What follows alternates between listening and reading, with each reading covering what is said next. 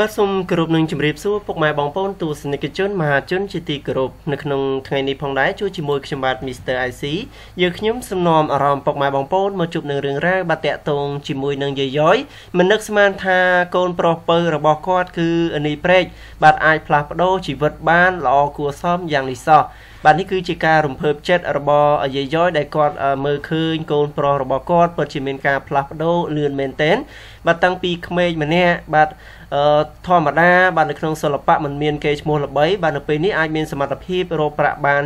បាទប្រាក់ចំណូលបានរាប់ពាន់ដុល្លារបាទនៅក្នុងមួយខែមួយខែអញ្ចឹងហើយបានជាគាត់មានកិត្តិយសបាទអ្វីដែលកាន់តែពិសេសនោះគឺឃើញកូនប្រុសពៅរបស់គាត់មានគូកប់ចិត្ត បាទដែលភ្ជាប់ពាក្យនៅក្នុងពេលថ្មីថ្មីនេះបាទពិតជាស័កសមនឹងគ្នាថែមទៀតផងបាទនេះហើយគឺជាការសម្ដែងអារម្មណ៍សប្បាយចិត្តរបស់យាយយ៉យបាទដោយសារតែនេះព្រែកបាទនៅពីតូចចូលចិត្តស្លៀកពាក់សម្លៀកបំពាក់របស់មនុស្សស្រីនិងពាក់ស្បែកជើងកែងចោតរហូតធ្វើឲ្យយាយយ៉យដែលត្រូវជាម្ដាយមិននឹកស្មានថាកូនធំឡើងអាចផ្លាស់ប្ដូរជាបរិះពេញលក្ខណៈដូចនេះសោះបាទអ្នកស្រីនួនសារីបាទហើយយាយយ៉យបានប្រាប់កម្មវិធី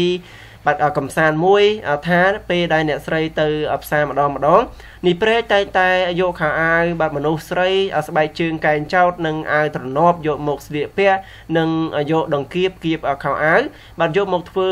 បាទយកមកគៀបធ្វើម៉េចឲ្យតែ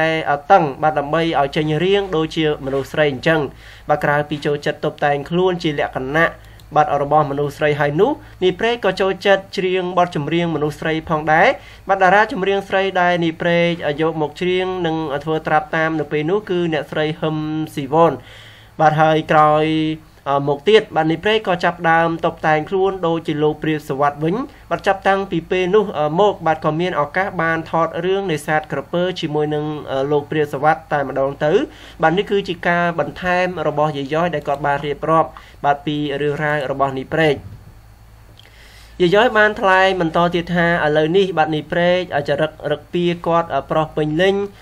ពេញលក្ខណៈតែម្ដងមិនដែលយកខោអាវមនុស្សស្រីយកមកស្លៀកពាក់ដូចជាមុនមុនទៀតទេបាទហើយគណៈពេលនេះគាត់ក៏មានមោទនភាពនិងមានការស្រឡាញ់ពេញចិត្តអានេះព្រែកតែបាទដែលជាកូនប្រុសពៅនឹងបាទស្រឡាញ់ជាងបងបង បាទបងបងទាំងអស់តែម្ដងមានន័យថាកូនកូនស្រឡាញ់ស្មើគ្នាប៉ុន្តែនេះព្រែកបាទ ដូចជាលំអៀងបាទលំអៀងទៅលើនីព្រែកជាងគេបាទដោយសារតែនីព្រែកចេះរកលុយបាទយកមកឲ្យម្ដាយតាំងពីអាយុ7ឆ្នាំមកម្លេះបាទហើយក៏ជាកូនល្អមិនដែលធ្វើឲ្យម្ដាយមានការពិបាកចិត្តបាទហើយអឺពេលពេលនេះបាទនេះព្រេះក៏បានបំពេញបំណងប្រាថ្នារបស់យាយយ៉យបាទដោយបានទិញផ្ទះមួយល្វែង បាទទិញផ្ទះមួយល្វែងឲ្យយាយយ៉យបាទសុកចិត្ត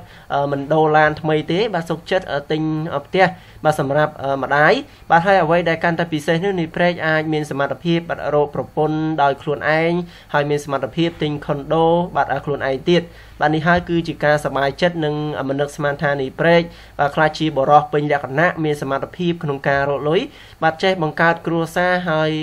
ចេះស្រឡាញ់ម្ដាយឪពុក បាទចេះស្រឡាញ់ម្ដាយហើយទាំងស្រឡាញ់គូដណ្ដឹងឲ្យថែមទៀតផងនោះបាទអញ្ចឹងយើងឃើញថានេះគឺជាការប្រែប្រួលរបស់និព្រែកបាទពីក្មេងដែលចូលចិត្តតែងខ្លួនហើយគាត់មានការអភ័យដែរបាទខ្លាចកូនប្រុសរបស់គាត់ខ្លាចទៅជាភេទទី3បាទពិតជាចប់តែម្ដងបាទដូច្នេះរឿងរ៉ាវមួយនេះយើងខ្ញុំក៏សូមបញ្ចប់ត្រឹមនេះផងដែរសូមអរគុណច្រើនសម្រាប់ការតាមដានរបស់ពុកម៉ែបងប្អូនតាំងពីដើមរហូតមកដល់ទីបញ្ចប់ បាទសូមអរគុណច្រើនសូមជម្រាបលា